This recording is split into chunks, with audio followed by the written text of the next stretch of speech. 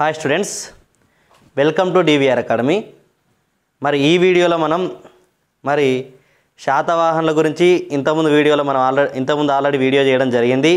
ఆ వీడియోలో శాతవాహనుల యొక్క ప్రాథమిక అంశాల గురించి చర్చించడం జరిగింది. ఇంతకుముందు ఎవరన్నా ఆ వీడియోను చూడకపోయినట్లయితే ఆ వీడియోను చూసి ఇక్కడికి వచ్చినట్లయితే మీకు ఈజీగా ఉంటుంది. మరి ఇంతకుముందు నేను పీసీ యొక్క ఎయిటీన్ డేస్ యాక్షన్ ప్లాన్ చేయడం జరిగింది. దాన్ని కూడా చూడండి. అవసరమైతే ఈ వీడియో లింక్స్ను డిస్క్రి డిస్క్రిప్షన్లో ఇవ్వడం అనేది జరుగుతుంది కాబట్టి వీటిని చూడండి. ఫస్ట్ వీడియోని లైక్ చేసి సబ్స్క్రైబ్ చేసుకున్న తర్వాత చూడండి. వీడియోలో ఏమైనా లోపాలు అనిపిస్తే కామెంట్లో తెలపండి.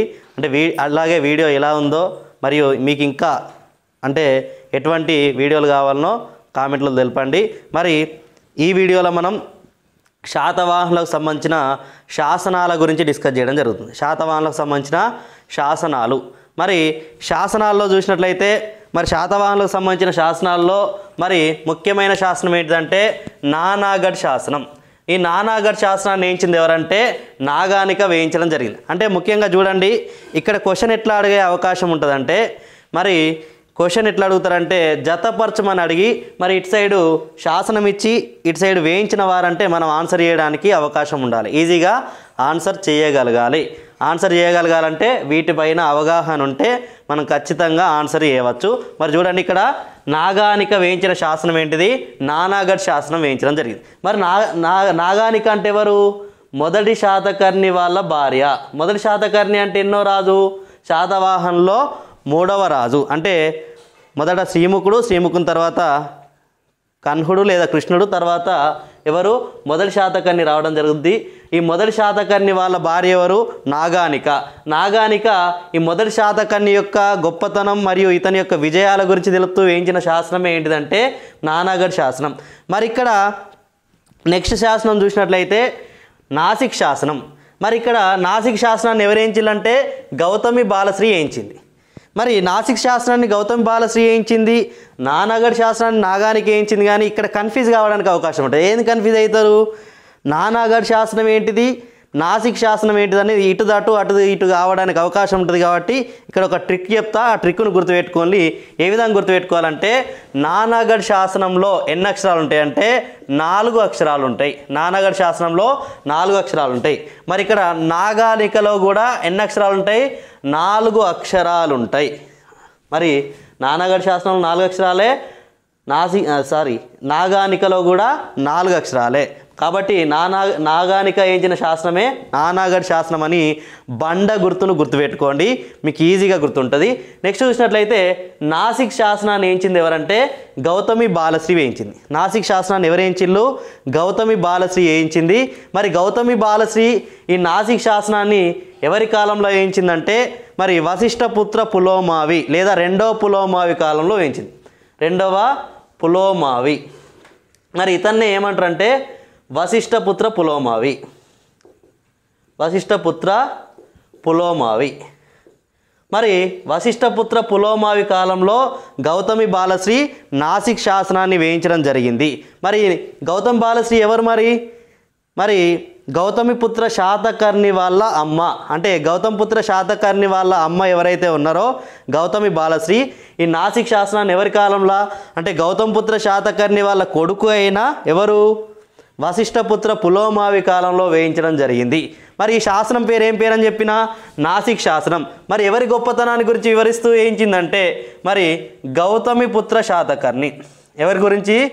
గౌతమి పుత్ర శాతకర్ణి. మరి గౌతమ్ పుత్ర శాతకర్ణి యొక్క గొప్పతనాల గురించి గొప్పతనం గురించి వివరిస్తూ ఈ- గౌతమి బాలశ్రీ వేయించిన శాసనం నాసిక్ శాసనం అని గుర్తుపెట్టుకోవాల్సిన అవసరం అనేది ఉంటుంది. మోస్ట్ ఇంపార్టెంట్ టాపిక్ ఇది. ఖచ్చితంగా దీనిలోంచి ఒక మార్క్ ఉండే అవకాశం ఉంటుంది కాబట్టి మీరు గుర్తుపెట్టుకోవాలి. మరి ఇక్కడ గౌతమి బాలశ్రీ గౌతమ్ పుత్ర శాతకర్ణి గొప్పతనం గురించి చెప్పిన చెప్పింది. మరి నాగానిక ఎవరి గురించి చెప్పింది? మొదటి శాతకర్ణి గురించి చెప్పింది. మరి మొదటి శాతకర్ణి గురించి నాగానిక తన యొక్క నానగఢ్ శాసనంలో ఇతని యొక్క బిరుదులు ఏక సారీ ఇతని యొక్క బిరుదుల గురించి పేర్కొనడం జరిగింది. మరి అట్లానే గౌతమి బాలశ్రీ కూడా గౌతమ్ పుత్ర శాతకర్ణి గురించి దీంట్లో ఏక బ్రాహ్మణ అని పేర్కొనడం జరిగింది. ఏక బ్రాహ్మణ. అంటే ఈ ఏక బ్రాహ్మణ అనే పదం ద్వారా వీళ్ళు ఎవరని తెలుస్తుంది? ఏ వర్ణానికి చెందిన వారని తెలుస్తుందంటే బ్రాహ్మణ వర్ణానికి చెందిన వారని మనకు తెలవడం అనేది జరుగుతుంది. ముఖ్యంగా వీళ్ళను బ్రాహ్మణ వర్ణానికి చెందిన వాళ్ళని తెలిపే అంటే తెలిపే బిరుదే ఇదేంటిదంటే పదం ఎక్కడ ఉన్నదంటే నాసిక్ శాసనంలో ఉన్నదని మనం గుర్తుపెట్టుకోవాల్సిన అవసరం అనేది ఉన్నది. మరి ఇది ఒకటి. మరి నెక్స్ట్ చూసినట్లయితే హతిగుంప శాసనం. అంటే ఇది వాస్తవానికి కళింగ రాజైన కారవేడేయించిన శాసనమే హతిగుంప శాసనం. ఈ హతిగుంప శాసనం మరి కళింగరాజు అయితే మనం ఎందుకు డిస్కస్ చేస్తున్నామంటే ఈ కళింగరాజు వేయించిన ఈ హతిగుంప శాసనంలో ముఖ్యంగా శాతవాహనుల గురించి ప్రస్తావన ఉన్నది. ఎందుకు శాతవాహనుల గురించి ప్రస్తావన ఉన్నదంటే ఈ కళింగ కారవేయుడు అనేటోడు ఎవరి సమకాలంలో అంటే మొదటి శాతకర్ణి యొక్క సమకాలీనుడు. కళింగ కారవేయుడు మొదటి శాతకర్ణి యొక్క సమకాలీనుడు.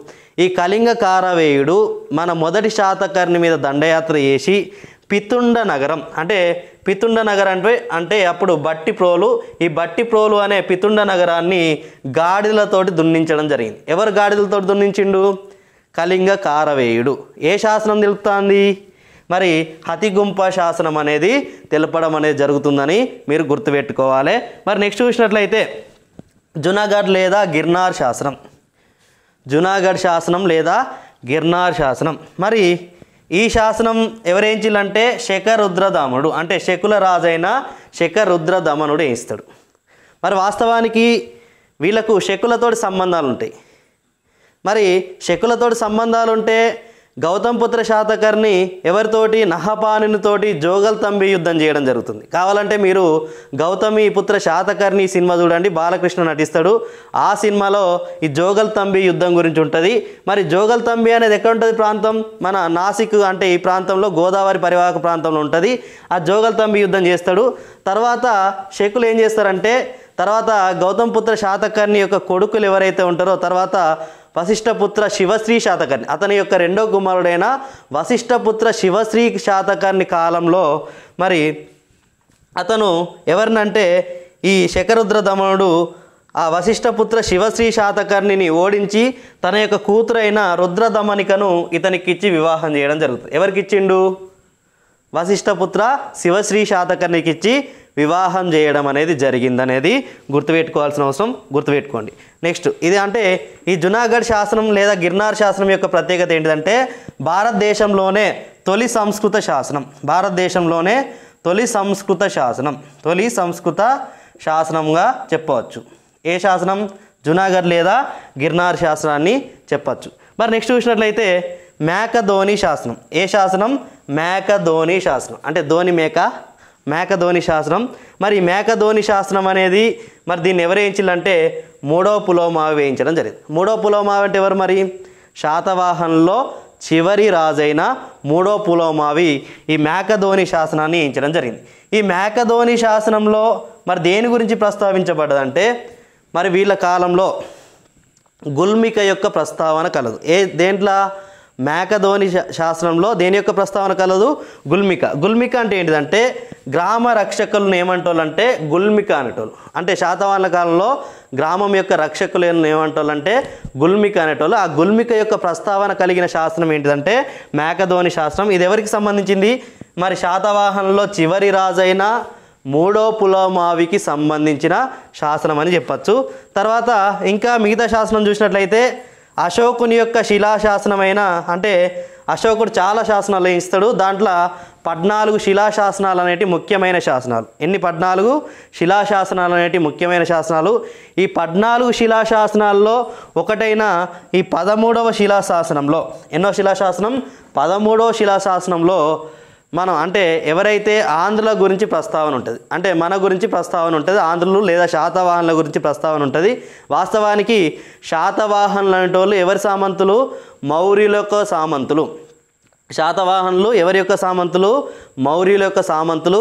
అద్ అదేవిధంగా ఈ పదమూడవ శిలాశాస్త్రంలో ఇంకా దేని గురించి అంటే కళింగ యుద్ధం గురించి పేర్కొనడం జరుగుతుంది. కళింగ యుద్ధం అంటే వాస్తవానికి అశోకుడు మరి ఈ యుద్ధం తర్వాతనే తను మారిపోవడం అనేది జరుగుతుంది. ఈ యుద్ధంలో అంటే చాలామందిని చీల్చి చెండాడడం జరుగుతుంది. మరి అప్పుడు కళింగ రాజు ఎవరంటే రాజరాజ అనంతన్. రాజరాజ అనంతన్ తోటి అశోకుడు యుద్ధం చేస్తాడు. అదే యుద్ధం కళింగ యుద్ధం. ఆ కళింగ యుద్ధంలో నెత్తురు ఏర్లై పారుతుంది. చాలా మందిని చంపేయడం జరుగుతుంది. ఆ తర్వాత మనోడు అంటే అశోకుడు శాంతి శాంతియుక్త వ్యక్తిగా మారడం అనేది జరుగుతుంది అనేది గుర్తుపెట్టుకోవాలి. మరి దాని తర్వాత అదేవిధంగా అశోకుని యొక్క బట్టి ప్రోలు శాస్త్రం అశోకుని యొక్క ఎర్రగుడి శాస్త్రం అశోకుని యొక్క రాజుల మందగి శాసనం అశోకుని యొక్క బట్టి ప్రోలు శాస్త్రం అశోకుని యొక్క ఎర్రగుడి శాస్త్రం రాజుల మందగి శాస్త్రం ఈ మొత్తం కూడా మన దగ్గరనే ఉంటాయి. ఈ శాసనాల్లో కూడా మన ఆంధ్రుల లేదా శాతవాహనుల ప్రస్తావన కలదు.